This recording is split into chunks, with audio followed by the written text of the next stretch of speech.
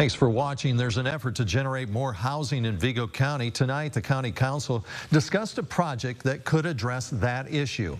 For the first time, council members heard details about a proposed $5 million housing initiative with Thrive West Central. Will Price was there tonight. And Will, how close is this project to really becoming a reality? Yeah, Mike, it looks like it is just one week away. That's when the council will vote, putting an end to this step in a lengthy process that started over a year ago. The finish line is finally in sight, and it was far from the only proposal that was discussed.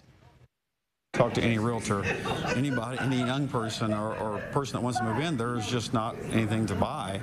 Housing was at the top of mind for the Vigo County Council on Tuesday as they got more information from Thrive West Central on a proposed $5 million project. Those details include the timeline and exactly how the funds will be used, with most of the money going towards implementing new units in Vigo County.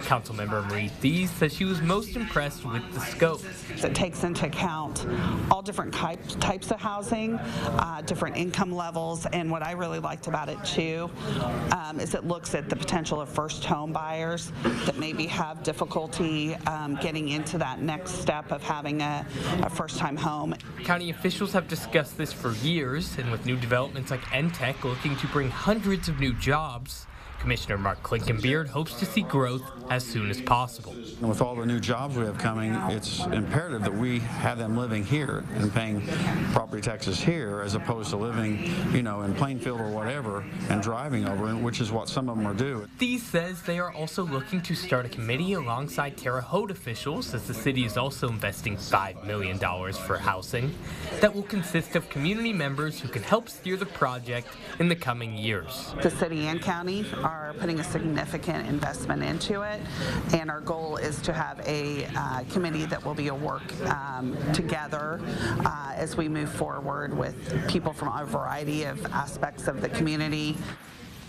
Now, the other projects discussed in, involved trail improvements and an innovation grove for Rose-Hulman, which totaled a combined cost of 1.5 million. Now all three of these projects are funded by the American Rescue Plan Act, which is a federal program established during the pandemic. Mike. All right.